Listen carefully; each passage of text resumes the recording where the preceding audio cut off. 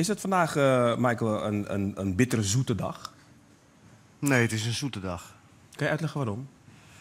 Omdat ik eh, in mei nog hoorde vanuit het ministerie dat er eh, geen noodzaak was voor het onderzoeken voor een verbod.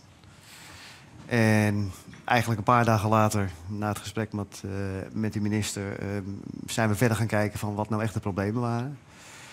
En ik had niet gehoopt dat zeg maar, de beslissing die vandaag genomen is al dit jaar zou vallen. En ehm, ja, bitter begrijp ik wat je bedoelt. Alleen dat heeft voor mij hier niks mee te maken. Ik wil gewoon eh, in ieder geval dat verbod hebben. Niet zozeer voor de handhaving, wat, wat de Fietsbond ook zegt. Dat is ook een groot probleem. Alleen je kan nu tegen je kind zeggen... jij betaalt die boete als je die telefoon in je hand hebt. Je kan tegen je kind zeggen... het is verboden, dus het is gewoon slecht. Eh, nu horen we de cijfers van 1 op de 5. Eh, eh, in mei werd er geroepen... eh 1 à 2 kinderen, fietsers, hebben een probleem per jaar. En dat bleek een onderzoek te zijn naar 2008. En toen is Facebook Nederland pas begonnen. Ja. Dus dat is een hele andere, hele andere wereld.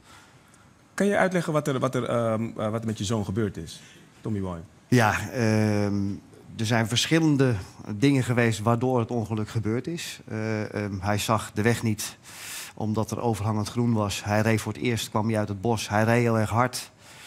Maar eh, we hebben ook mensen gezien dat hij op het laatst even op zijn mobieltje keek. Ja, en ja, kijk maar met z'n allen nu naar beneden. Je ziet niet wat er voor je gebeurt. En ik kan het, het overhangend groen kan ik niet weghalen. De tractor die er reed kan ik niet verbieden. Maar ik weet hoeveel impact het heeft als dat gebeurt. eh, als familie, maar ook bij degene die hem dus zonder schuld aanrijdt. Dat zijn gewoon honderden, duizenden mensen die nog steeds een leven hebben voor en na Tommy Boy. En ja, ik wil, ik, ik wil gewoon niet dat ik later kan zeggen... ik heb er niet alles aan gedaan om in ieder geval duidelijk te maken... dat het gebeurt nooit en het gaat altijd goed, wat die kinderen ook altijd zegt. Mhm. Maar er zijn echt zat situaties dat het niet goed gaat. En daar hoor je vaak niet veel van. Eh, vaak ook omdat er niet over gesproken wordt. En ik heb de macht en de kracht om dat wel te doen. Dus vandaar dat ik dat graag doe. Hoe, hoe ging dat eh, bij jullie eh, thuis aan tafel? Want ik bedoel, ik weet ook bij mij thuis... Ik weet niet eens bewust of ik het wel eens benoemd heb.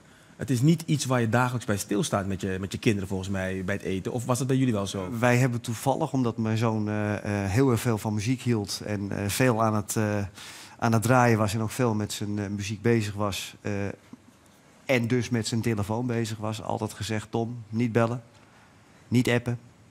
Tijdens het fietsen. Tijdens het fietsen, in het verkeer, gewoon opletten. En daar heeft hij eh, fantastisch naar geluisterd. Want hij keek alleen maar op zijn Spotify-lijst. Hij keek heel even, heel even op zijn telefoon. Wist niet van die zeven kilometer dat hij naar atletiek toe reed... was er vier meter was er gevaarlijk. En dat was net die vier meter dat hij op zijn telefoon keek.